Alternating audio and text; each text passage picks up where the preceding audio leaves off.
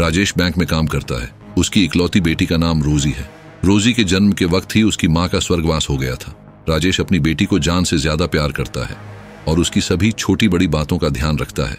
पर रोजी को माँ की कमी बहुत खलती है। रोजी अब पंद्रह साल की हो गई है।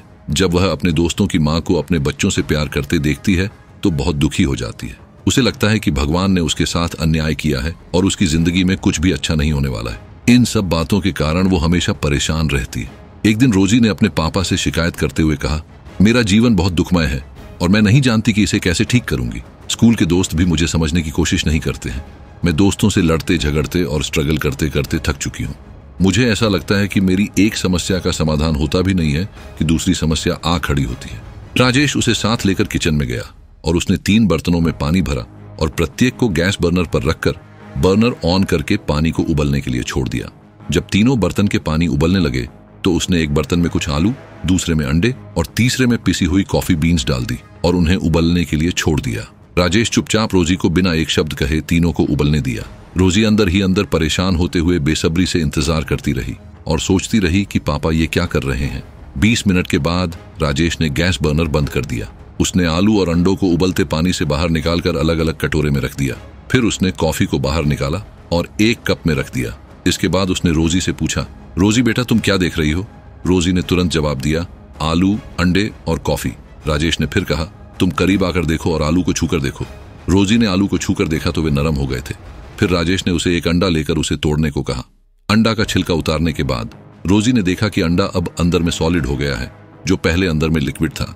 आखिरकार, राजेश ने उसे कॉफ़ी पीने के लिए कहा और कॉफ़ी की सुगंध और टेस्ट ने उसके मुरझाए चेहरे पर मुस्कान ला दिया। रोजी ने पूछा, पापा, इसका क्या मतलब है?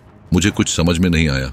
राजेश ने उसे समझाया कि आलू, अंडे और पिसी हुई कॉफ़ी बीन्स प्रत्येक को एक ही समस्या का सामना करना पड़ा, और वो है उबलता पानी। पर तुमने देखा कि तीनों ने अलग अलग प्रतिक्रिया दिखाया। आलू जो पहले मज़बूत और कठोर था, उबलते पानी का साथ मिलने पर नरम और कमज़ोर हो गया। अंडा जो बिल्कुल नाजुक होता है, और हाथ से छूटते ही टूट कर बह जाता है। जब इसे उबलते पानी का साथ मिला तो इसका पतला बाहरी छिलका, इसके अंदर के लिक्विड भाग की रक्षा करता रहा, और अंदर का हिस्सा कठोर हो गया। तीनों में पिसी हुई कॉफ़ी बीन्स कमाल की निकली। उबलते पानी के संपर्क में आने के बाद, उसने पानी के अस्तित्व को ही बदलकर बिल्कुल नया बना दिया। राजेश ने आगे कहा, रोजी बेटा, ठीक इसी तरह समस्या, परेशानी या विपत्ति जब हमारे दरवाजे पर दस्तक देती है तो ये हम पर निर्भर करता है कि हम उसके साथ किस तरह से रिएक्ट करते हैं। आलू, अंडा या फिर पिसी हुई कॉफ़ी बीन्स की तरह। अब रोजी के मासूम चेहरे पर आत्मनिर्भरता की झलक साफ़ दिखाई दे रही थी।